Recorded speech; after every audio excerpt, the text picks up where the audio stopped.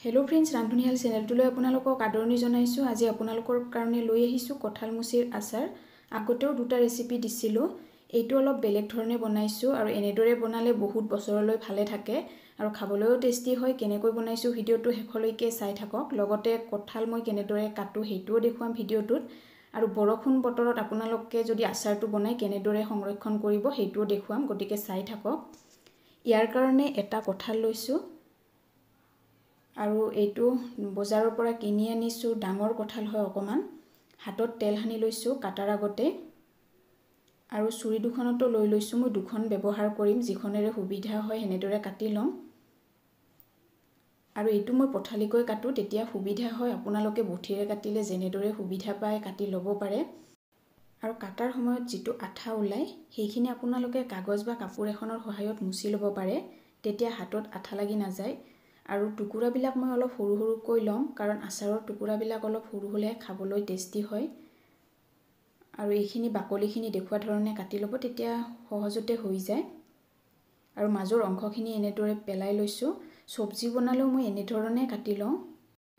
কঁঠাল মুচিটো একেবাৰে সৰু হ'লেও কঁঠালৰ আচাৰটো অলপ টান হয় গতিকে এনেকুৱা অলপ ক থকা ল'ব তেতিয়া ভাল হয়। আৰু কঁঠালৰ তৰকাৰী ৰেচিপিও এটা দিছিলোঁ ওপৰৰ আই বাটনটোত ক্লিক কৰি আপোনালোকে চাব পাৰে। যিহেতু এতিয়া কঁঠালৰ মুচি পোৱা যায় আপোনালোকে বনাই খাব পাৰিব। গোটেইখিনি সৰু সৰু টুকুৰাত কাটি ল'লোঁ আৰু এতিয়া এইখিনি ভালদৰে ধুই ল'ম আৰু পানীটোৰ পৰা আঁতৰাই লৈছোঁ। গোটেই এটা কঁঠালটো গোটেইখিনিয়ে ল'লোঁ মই কাৰণ আচাৰৰ পৰিমাণটো অলপ সৰহকৈ বনাম। এতিয়া কুকাৰত লৈ লৈছোঁ এইটো বিচাৰিলে কেৰাহীটো সিজাই ল'ব পাৰে। আৰু আচাৰটো মই অলপ কোমল হ'লে ভাল পাওঁ বেছি টান হ'লে আচাৰটো খাবলৈ ভাল নাপাওঁ। সেইকাৰণে কুকাৰত অকণমান নিমখ আৰু হালধিৰ গুড়ি দি কিনে সিজাই ল'ম। নিমখটো সিজোৱাৰ সময়ত দিলে এইটো হয় যে কঁঠালৰ টুকুৰাকেইটাত সোমাই পৰে আৰু আচাৰটো খাবলৈ টেষ্টি হয়। পানী দি এতিয়া এইটো এটা বা দুটা চিটিত সিজাই ল'ম। আচাৰটো যদি অলপ কোমল হোৱা বিচাৰে তেতিয়াহ'লে দুটা চিটি দিব আৰু যদি টান খাব বিচাৰে তেতিয়াহ'লে এটা চিটিতে সিজাই ল'ব। সম্পূৰ্ণ প্ৰেছাৰ যোৱাৰ পিছত ঢাকনিখন গুচাই লৈছোঁ। এপিচ দেখুৱাইছোঁ। এইটো ধুনীয়াকৈ সিজি গৈছে। সিঁচি দিলে দেখিছেনে? ভাঙি গৈছে। এতিয়া খৰাহী এটাত উলিয়াই লৈছোঁ পানীখিনি ছেপাৰেট কৰিবৰ কাৰণে। অলপ সময় এনেকৈয়ে ৰাখি দিম। যেতিয়া অলপ সময়ৰ পিছত সম্পূৰ্ণ পানীটো নিগৰি পৰে আৰু অলপ ঠাণ্ডা হয় তাৰপিছত ইয়াতে পুনৰ নিমখ আৰু হালধি লৈ ল'ম। টেষ্টকাৰ্ড নামেৰে আকৌ এটি চেনেল আছে যিসকলে এতিয়ালৈকে গম পোৱা নাই এই ভিডিঅ'টোৰ ডেছক্ৰিপশ্যন বক্সত লিংক পাই যাব। প্লিজ ছাবস্ক্ৰাইব কৰি ল'ব। গোটেইখিনি মিহলি কৰি ল'লোঁ। এইখিনি এতিয়া ৰ'দত শুকাই ল'ব লাগিব কাৰণ ৰ'দত শুকাই লৈ বনোৱা আচাৰৰ টেষ্টটোৱেই বেলেগ। কাৰণ কেঁচাকৈ বনালে আপোনালোকে ভিনেগাৰ দিলেও আচাৰটো খাবলৈ ইমান টেষ্ট নহয়। বহলকৈ কাঁহীত মেলি লৈছোঁ আৰু জলকীয়া লৈছোঁ পকা জলকীয়া। জলকীয়াৰ পৰিমাণটো অলপ বেছিকৈ ল'ব কাৰণ অলপ জ্বলা মছলা বেছি হ'লেহে খাবলৈ টেষ্টি হয় আৰু যিহেতু আচাৰটো ভাতৰ লগত কম পৰিমাণে জুতিৰ কাৰণে লোৱা হয় সেইকাৰণে জ্বলা নিমখ তেল সমানেই হ'ব লাগে মছলাৰ লগত তেতিয়াহে খাবলৈ ভাল হয়। এয়া ৰ'দত মেলি দিম।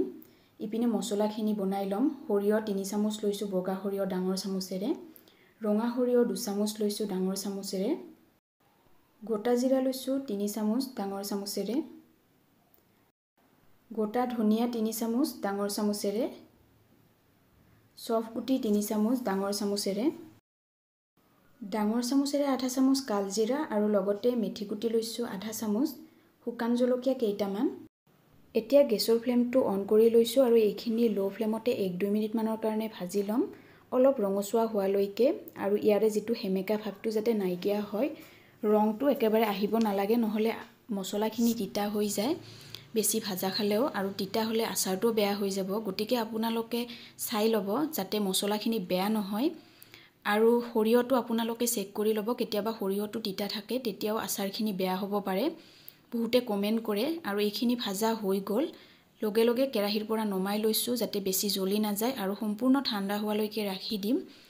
এইখিনি ৰ'দত শুকাবলৈ দিছিলোঁ কিন্তু বতৰ বেয়া হ'ল যাৰ কাৰণে মই ফেনৰ তলতে শুকাব লগা হ'ল। আৰু এইটো এনেকৈ থৈ দিলে গোন্ধ ওলাব পাৰে গতিকে আপোনালোকেও যেতিয়া বতৰ বেয়া হয় আচাৰ বনাই সেইটো আপোনালোকে ফ্ৰিজত ৰাখিব পাৰে আৰু যিসকলৰ ফ্ৰিজ নাই তেওঁলোকে এইটো পদ্ধতিত বনাব পাৰিব। মছলাখিনি সম্পূৰ্ণ ঠাণ্ডা হোৱাৰ পিছত গ্ৰাইণ্ড কৰি ল'ম। একেবাৰে মিহি গুড়ি কৰিব নালাগে অলপ গোটা গোটাকৈ ৰাখিব। আৰু কঁঠালৰ আচাৰ কাটোতে যিহেতু বহুত কষ্ট হয় শুকোৱাৰ পিছত যদি আচাৰখিনি পেলনি যায় বেয়া লাগে। গতিকে আপোনালোকে ভিডিঅ'টো চাই থাকক কেনেকৈ বনাইছোঁ মই। এয়া মছলাখিনি ৰেডি হৈ গ'ল। অলপ যদি বেছিও হয় টেনশ্যন ল'ব নালাগে। এইখিনি আপোনালোকে মাংস বা চব্জি যিকোনো বনাই খাব পাৰে খাবলৈ টেষ্টি হয়। কেৰাহীত তেল গৰম হ'বৰ কাৰণে ৰাখি দিছোঁ। তেল অলপ সৰহকৈ ল'ব। যিহেতু কঁঠালৰ আচাৰত অলপ তেলটো বেছি শুহি লয় এতিয়া সম্পূৰ্ণ ধোৱা ওলোৱাৰ পিছত ইয়াতে মই কঁঠালখিনি দি দিম। কঁঠালৰ টুকুৰাকেইটাত কিন্তু বাহিৰ চাইডে অলপো পানী লাগি থকা নাই ফেনৰ তলত শুকাই লৈছোঁ। আপোনালোকে বিচাৰিলে পানীখিনি কটন কাপোৰৰ সহায়তো মুচি ল'ব পাৰে। আৰু যদি কঁঠালখিনি ৰ'দত বেছিকৈ শুকাই লয় তেতিয়াহ'লে তেলটো আপোনালোকে গৰম থাকোঁতেই দিব কিন্তু কেৰাহীত এনেদৰে সিজাই নল'ব বহুত বেছি টান হৈ যায়। গেছৰ ফ্লেমটো বন্ধ কৰিহে কঁঠালখিনি দিব। এতিয়া এইখিনি প্ৰায় আঠ মিনিটমান ভাজি ল'ব লাগিব। বহুত বেছি লৰাই নাথাকিব যাতে তলিত লাগি নাযায় তাৰ বাবে এবাৰ দুবাৰ লৰাই থাকিব। এয়া দেখিছেনে ৰংটো অলপ সলনি হৈছে আৰু এইখিনি প্ৰায় ভাজা খাইছে। এতিয়া ইয়াতে সোৱাদ অনুসৰি নিমখ আৰু হালধি গুড়ি দি দিম। নিমখটো চাই ল'ব আগতেও দিয়া হৈছে। বিচাৰিলে আপোনালোকে পিছত টেষ্ট কৰিও নিমখ দিব পাৰিব। হালধি গুড়িখিনি দি লৰাই লৈছোঁ এতিয়া নিমখখিনি দিম আৰু লগে লগে গেছৰ ফ্লেমটো অফ কৰি দিম। ইয়াতকৈ আৰু বেছি ভাজি থাকিব নালাগে। এতিয়া মছলা গুড়িখিনি দি দিম গৰম থাকোঁতে কাৰণ গৰম তেলত দিলে অলপ সোৱাদটো বেছি ভাল আহে। প্ৰথমতে আধা দি মিহলি কৰি চাম। কঁঠালৰ পৰিমাণটোৰ হিচাপত মছলা দি দিব আৰু মছলা অলপ বেছি হ'লে খাই ভাল পাওঁ তাৰ বাবে মই অলপ বেছিকৈ লৈছোঁ। পুনৰ অকণমান দি দিলোঁ আৰু বাকীখিনি মছলা থৈ দিম। মই বেছিভাগ এইখিনি মছলা মাংস বনালে দি দিওঁ। কাৰণ তেতিয়া ঘৰুৱা মছলাৰ টেষ্টটো আৰু অলপ ভাল হয়। কাশ্মীৰী ৰঙা জলকীয়াৰ গুড়ি দুচামুচ দি মিহলি কৰিছোঁ এইটো অপশ্যনেল হয়। ভিনেগাৰ তিনি চামুচ লৈছোঁ ডাঙৰ চামুচেৰে। আপোনালোকে যদি টেঙা ভাৱটো ভাল পায় তেতিয়াহ'লে ভিনেগাৰৰ পৰিমাণটো বঢ়াই ল'ব পাৰে। গোটেইখিনি মিহলি কৰি ল'লোঁ পুনৰ। ইয়াতকৈ আৰু তেলৰ পৰিমাণটো বঢ়াই নল'ব এনেকুৱা হ'ব লাগিব। কাৰণ এইটো আৰু অলপ ৰ'দত শুকাব লাগিব যাতে বেয়া নহয়। তাৰ বাবেহে মই তেলটো দি দিছোঁ। শুকান বাতি এটাত এতিয়া এইখিনি লৈ ল'ম। কাইলৈ এইটো ৰ'দত দিম এতিয়া মই এইটো সন্ধিয়া বনাইছোঁ। আৰু এইটো আপোনালোকে এনেকৈও খাব পাৰে। বাতিত দুদিনমান আছিলে তাৰপিছত মই ৰ'দ ওলোৱাৰ পিছত এনেদৰে কাঁহীত বহলকৈ মেলি দিছোঁ যাতে সোনকালে শুকাই যায়। আৰু ৰংটো দেখি ধৰিব পাৰিছেই চাগে। আচাৰখিনি ধুনীয়াকৈ শুকাইছে লগতে টুকুৰাখিনিও দেখিছেনে? শুকাই বহুত সৰু হৈ গৈছে মছলাখিনিও লাগি ধৰিছে। এতিয়া এইখিনি বটলত থ'ব পৰা হৈ গৈছে। কেৰাহীত পুনৰ তেল গৰম কৰি সম্পূৰ্ণ ঠাণ্ডা হ'বলৈ ৰাখি দিম। ৰ'দত ভালদৰে শুকাই বনোৱা আচাৰো যদি আপোনালোকে খোলাকৈ দুদিনমান মেলি দিয়ে তেতিয়াহ'লে আচাৰটো টেষ্ট বাঢ়ে লগতে বহুদিনলৈ ভালে থাকে। শুকান কাছৰ বটল এটা লৈ লৈছোঁ। প্ৰথমতে ভালদৰে ধুই ৰ'দত শুকাই লৈছোঁ। এতিয়া আচাৰখিনি থ'ম। অলপ চামুচেৰে হেঁচি দিব। বহুত বেছি হেঁচি নিদিব। অলপ অলপ ফাক থাকিবও লাগে।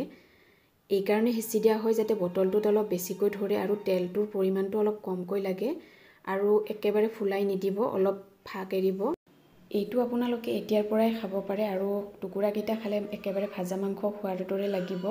এটা সৰু বটলত তেল নিদিয়াকৈ ৰাখিব পাৰে। এতিয়া এইখিনিৰ ওপৰত তেল দি দিম। কাৰণ ভিতৰলৈকে তেলটো যাব লাগিব আচাৰটো যদি বছৰলৈকে আপোনালোকে সংৰক্ষণ কৰে নহ'লে ভেঁকুৰ ধৰিব পাৰে। এতিয়া ওপৰত একেবাৰে ঠাণ্ডা হোৱাৰ পিছত তেল দি দিছোঁ। আৰু তেলটো দিয়াৰ পিছত ভৰ্তি হোৱা যেন পালে এবাৰ চামুচেৰে মিহলি কৰি দিব কাৰণ তললৈকে যাতে গৈ পায়। তাৰপিছত ওপৰত খালী হোৱা যেন পালে পুনৰ অকণমান তেল দিব এটা যাতে লেয়াৰ পৰি থাকে। আৰু ছাইডত যদি আচাৰটো লাগি যায় তেতিয়াহ'লে অকণমান কাপোৰৰ সহায়ত মুচি দিব চাফা কৰি ৰাখিব। বটলটো অলপ ডাঙৰ হ'লে বেছি ভাল হয় মাজে মাজে লৰাই থাকিব পাৰিব লাগে যাতে মছলাখিনি তলত পৰি নাযায় তেতিয়াও আচাৰ বেয়া হয়। আৰু ৰ'দত দিলে আপোনালোকে ঢাকন খুলি ৰ'দত দিব নাইবা কটন কাপোৰ এখন ঢাকনিখনত দিব যাতে ভাপৰ পানীটো পুনৰ আচাৰত নপৰে। বাকীখিনি ডাঙৰ বাচন এটাত থৈ দিছোঁ। যদি ৰেচিপিটো ভাল পাইছে প্লিজ লাইক আৰু শ্বেয়াৰ কৰিবলৈ নাপাহৰিব। ভিডিঅ'টো শেষলৈকে চোৱাৰ বাবে বহুত বহুত ধন্যবাদ।